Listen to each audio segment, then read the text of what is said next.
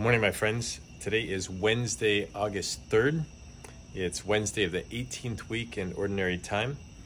And uh, in the Gospel reading today, we have uh, the Canaanite woman who comes to Jesus. So know that uh, she is a pagan and she comes to Jesus with faith. And she says, Have pity on me, Lord, son of David, son of David. So we know that title means, you know, the Messiah was to come from the house of David. So just from her calling out to Jesus by his title, she's saying, I, I believe you are the Messiah.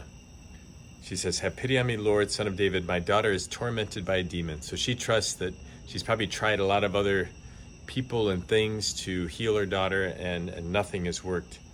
But Jesus doesn't say a word. And his disciples came and asked him, you know, send her away for she keeps calling out after us. So they're, they're wanting to kind of get rid of us. And maybe we've experienced that sometimes when you think, uh, why is this person bothering me? I, just, I just want to get away. So Jesus said in reply, I was sent only to the lost sheep of the house of Israel. So basically saying, you know, I think he's kind of testing her faith. You know, I, I was sent to the Israelites, uh, not and the Jews, not to the pagans.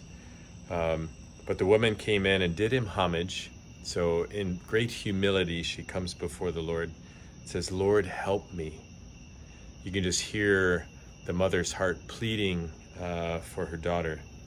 And he says, It's not right to take the food of the children and throw it to the dogs. Wow. Now, there's been many theologians who have talked about this. You know, uh, um, was Jesus being really offensive to her, calling her a dog? Um, some say that the word for dog is puppy and it makes it less offensive. Many say that you know Jesus was testing her faith. And uh, she says, Please, Lord, for even the dogs eat the scraps that fall from the table of their masters. Again, great humility. She didn't like take offense and, you know, get angry and, and storm away. No, I'm here because I think you can help me and I'm willing to take whatever whatever you can give me. And uh, and Jesus said to her in reply, "O woman, great is your faith. Let it be done for you as you wish." And her daughter was healed from that hour. So that incredible faith that she showed in Jesus. And you think about that in, in the scriptures, you know, when Jesus was inside the house, they say, you know, Lord, your mother and your brothers and sisters are outside. And he says, Who are my mother, my brother, my sisters? The one who uh, does the will of my heavenly Father is my mother, my brother, and my sisters. And so this Canaanite woman became part of the Lord's family that day. She believed in him, she sought his will, and his will was to heal her daughter, and she became part of his family and so for me, I think this this gospel story has a couple important things for us to consider. One is, do we believe that Jesus is the Messiah? Do we believe that beyond any other doctor, psychologist, psychiatrist, Jesus is the the ultimate healer? Um, do we call out to him, Son of David? You know, you're the Messiah. Do we come to him in humility? You know, this woman you know, the Lord seemingly was testing her faith. She just kept in humility begging the Lord for that miracle. And it was through her faith that her daughter was healed.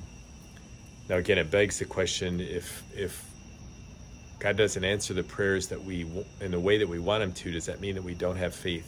No. It just means that, you know, if we seek, ask, knock, if we have faith, and it doesn't happen the way we want it to, we got to entrust that to the Lord's will and say, Lord, not my will, but yours be done. And I trust you.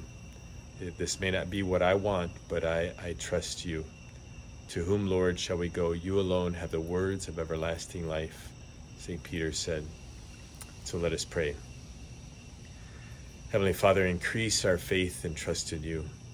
Help us in humility to come before you and believe that your will is always better than mine. Help us to seek your will and do it so that we, we can remain your beloved children, part of your family.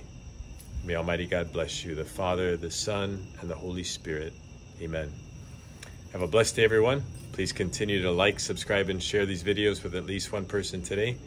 And to you and to your family, buen camino signing out from beautiful St. Isaac Jogues Parish in Hinsdale.